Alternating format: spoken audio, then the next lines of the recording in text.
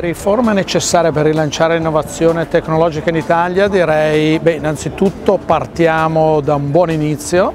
visto che per la prima volta abbiamo un Ministero dell'Innovazione, per di più guidato da una donna, quindi questo lascia ben sperare anche come modello per le giovani di questo Paese. Nel mondo delle tecnologie ci sono delle grandissime opportunità, il mondo della tecnologia sta rivoluzionando di fatto tutto il mondo, quindi questa è un'opportunità da cogliere. Un'idea che mi viene così da Chito sarebbe quella di provare a defiscalizzare gli investimenti, quello di magari ridurre le tasse universitarie per le ragazze, visto che c'è un grandissimo bisogno di avere più ragazze e più donne nel mondo della tecnologia,